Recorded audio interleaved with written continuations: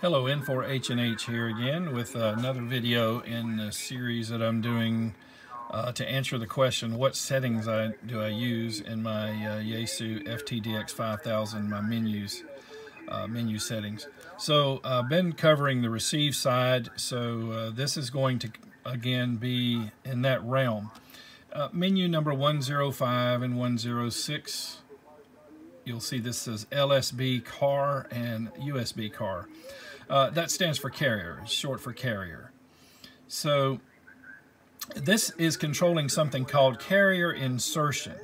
And I'll get, in a few minutes, I'll get to uh, the significance of that as it relates to the shift uh, control, the shift, um, let me, let me back out of the menu a second. So shift right here, and uh, let me put it, let me zero it. There we go. So the shift um, control of our radio. So um, we'll get we'll get into that in a few minutes. First of all, I want to give, uh, especially for those who might be new to the hobby, I want to give a little bit of a background on what this is all about. So, ham radio started out with spark gap transmitters um, uh, that were they were using uh, Morse code, CW, and um, is how we refer to it today, CW, continuous wave. And um, and in CW, what we're doing, we're we're turning turning on and off our transmitter, but we're sending a carrier. We're just interrupting the carrier and making short transmissions, long transmissions to create the dits and dots or dashes and dots and or dots and dashes, dits and dots that we use to send CW. So then um, came along AM, amplitude modulation, where we took the same carrier and we transmitted it constantly and then um, we had voice information. We had a microphone, and that information was carried in what's called sidebands, upper and lower side of the carrier. On the receive end, the other the other radio with where the person is listening to you, there's a circuit in there called a detector, and the detector locks onto that carrier, and once it's locked onto the carrier, it knows where to look to get the voice information, up and down below the carrier, above and below the carrier upper sideband, lower sideband. So your voice is being carried in those sidebands. Now, uh, the next step in making radios more efficient was, well, what if we could um, suppress the carrier? The same information is being uh, uh, transmitted in both sidebands, so maybe we could even suppress one of the sidebands, and that way um, we'll make the we can make the transmitter more efficient. And uh, let me sidestep a second and relate this to maybe a CB radio for those of you who may have come from the CB background. CB radios will transmit a 4 watt carrier and then the voice information will be on the upper and lower sidebands. Uh, but if you take a CB radio and add the sideband feature to it, so, and some models have upper sideband, lower sideband, the same transistors that are producing the 4 watt carrier in the two sidebands can now produce 12 watts of power. So it's more efficient. Same transistors. Um, because what's going to happen is instead of constantly transmitting a carrier while you're talking, it's only transmitting when you speak. It's only putting out power when you speak. And so you can ramp that up and put out 12 watts of power because you're you're now getting rid of one the carrier and one of the sidebands and you're focusing all of the energy on that one sideband that you're gonna you're gonna uh, transmit. So the radio on the other end is going to have to de demodulate that. And um, so we'll get into in a minute how that works. So the bottom line is sideband's more efficient than AM. We can use the same transistor tubes back in the day too uh, to to create the uh, the RF energy that is carrying your voice. And in essence, what we're saying is let's not transmit a carrier, which is silent. Let's transmit just the voice information. So um, let's talk about AM radio, like AM broadcast. So when you're driving down the road and you're listening to, say, a talk radio, in between the words, you don't hear the static, as it's referred to, the, the uh, noise from your receiver and even some atmospheric noise. You just hear silence, and that is a carrier. And that carrier is necessary for your car stereo to lock onto and then know where to look for the sidebands, which is where the voice information is, or it could be music.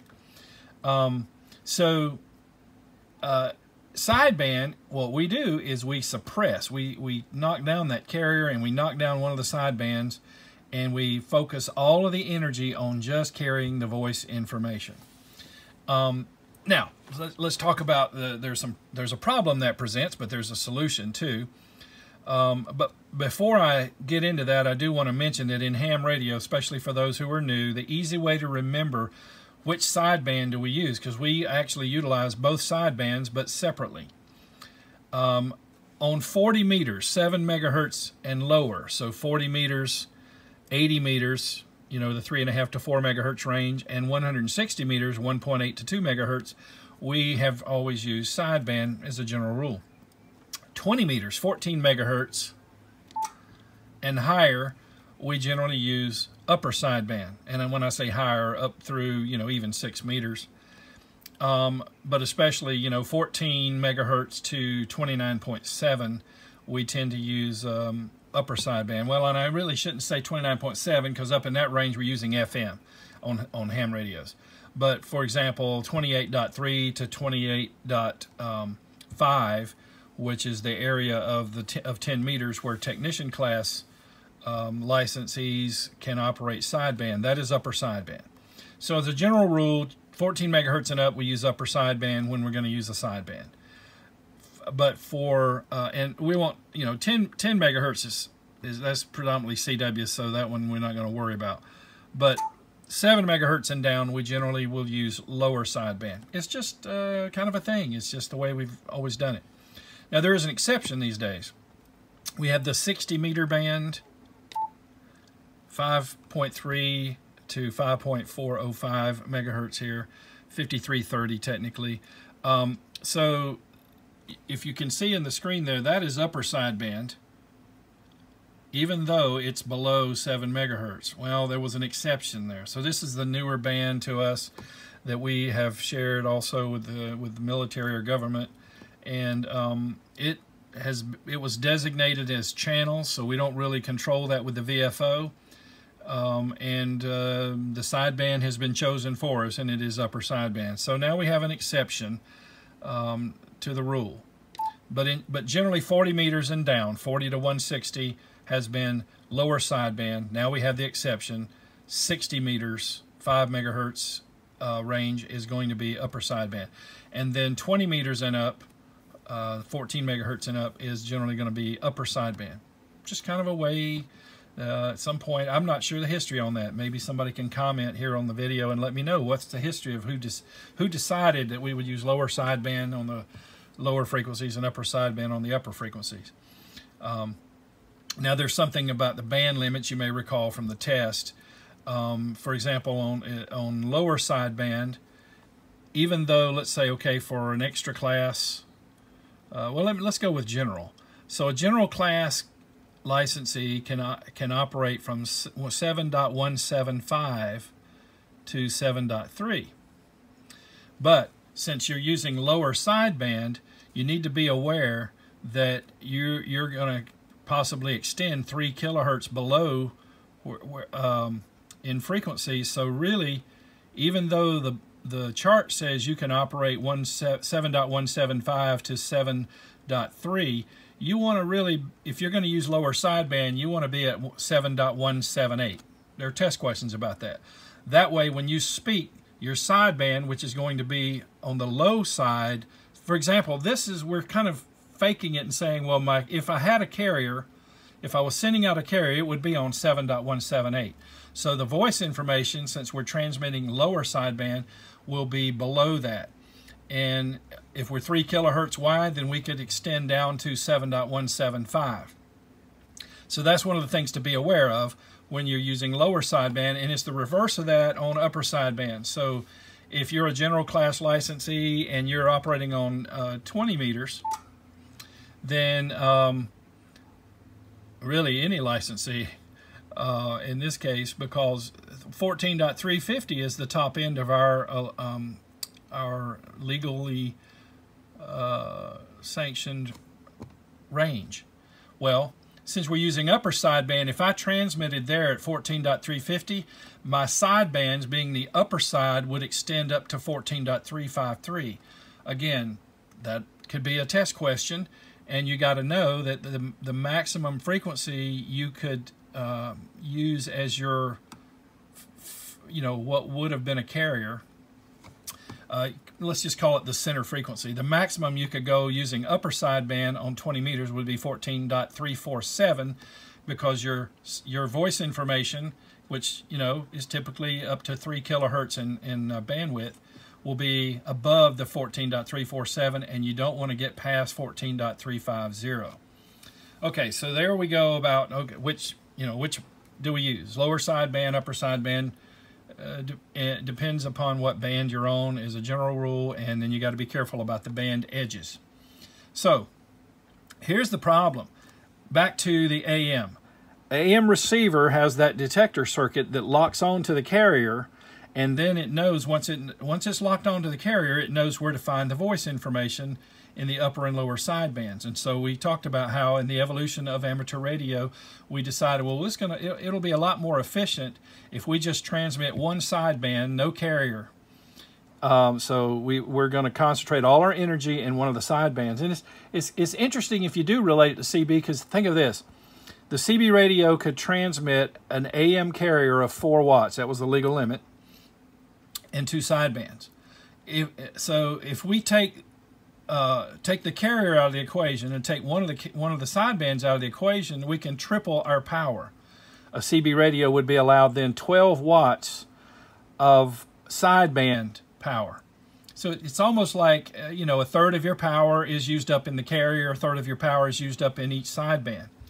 So the, the, the same exact transmitter, like I said before, can be used and you can transmit triple the power that you would have if you were transmitting AM in both sidebands uh, without overheating your, your final, be it a tube or a transistor. So that's great. But the problem is on the other end, the people receiving you, um, you hear this? It's going to give that Star Wars effect because um, the detector has nothing to lock onto, right? The, the, what we have to do, what we have to do is with our VFO, and you kind of do this by ear, but fortunately modern radios are so precise, you can pretty much guess that that he's centered up on 7.178. So what, in other words, let me bring this plane in for a landing. Think of it this way: on the other end, he's his radio is transmitting on 7.178, but he's suppressing his carrier. And he's also suppressing the upper sideband. We're on 40 meters. He's only transmitting the lower sideband. So on my end, I have to recreate, if you will, that center point. I have to kind of decide, well, okay, his carrier must have been on 178 because he sounds clear and he's not talking. Let me find somebody else.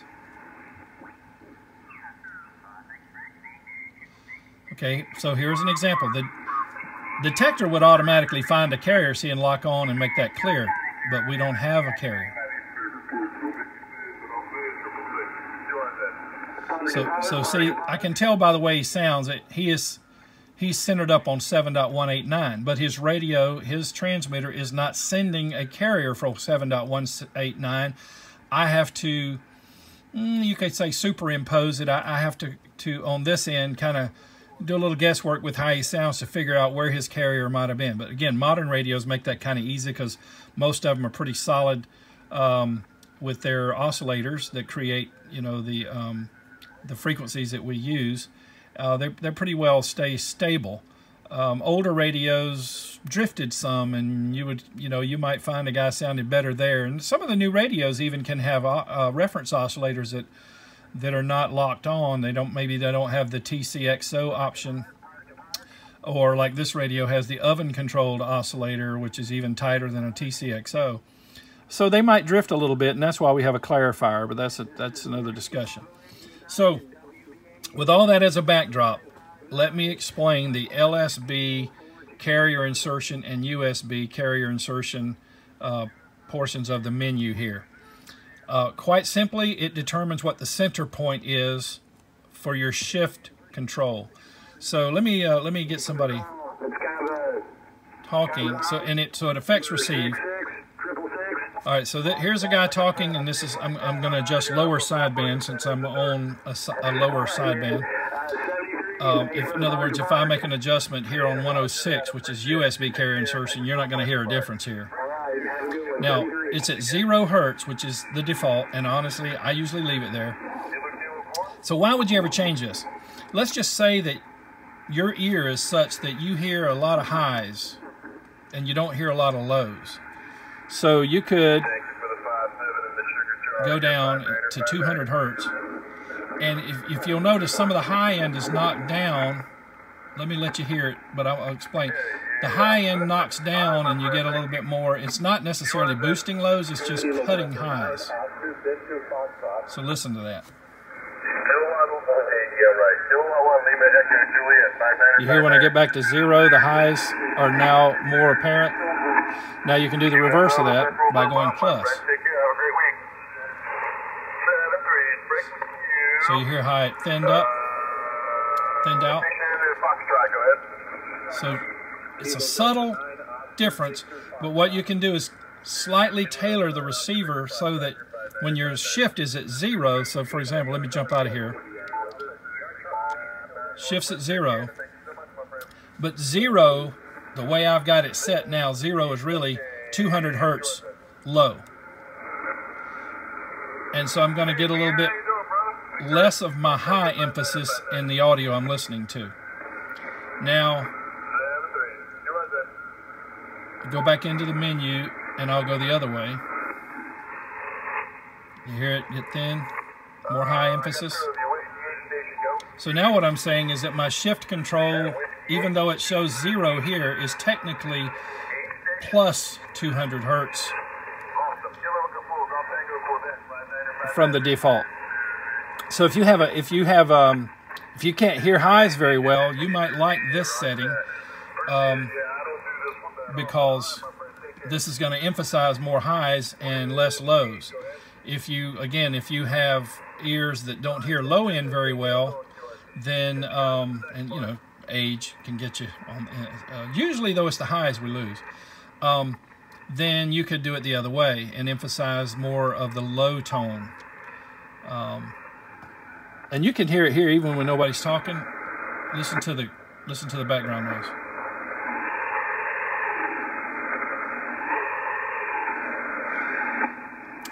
So those are extremes. What you might really wind up doing is finding a happy medium for yourself.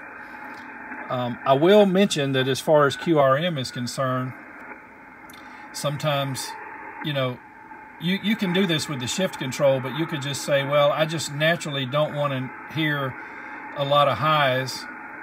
And, you know, sometimes you hear that high sizzle sound when somebody's, you know, two kilohertz away or three kilohertz away and splattering. Well, you can knock some of that out just by keeping this, you know, at a, at a negative setting. But sometimes it's the other way around. Sometimes the interference is a low, a low sound. So I just generally run it in at zero, but again, you could tailor this to your ears. And all, again, all you're really doing is you're deciding where is the center of my shift control going to rest. And you could just say, well, I'm just going to let zero be negative 100 hertz. Um, now, 106 is the same thing, but for USB. That's the only difference, so I won't go into that. Both of these controls accomplish the same task, one for USB and one uh, for LSB. So 105, lower sideband carrier insertion, and where that, in other words, where you reinsert the carrier, that's why I wanted you to get that background, where you reinsert the carrier so that your detector has something to lock onto to get the sideband information, you can you can slightly you can vary that up and down 200 hertz and control uh, the audio spectrum that the detector is able to, to, to get out of that um, of that signal. And so we can make it favor more low end, less high end, or which is negative settings, or we can make it favor more highs and less lows with a positive setting. Okay, so there you go. That's menu 105 and uh, 106 in the FTDX 5000 MP. I uh, hope you found this helpful and informative. 73 from N4 HNH.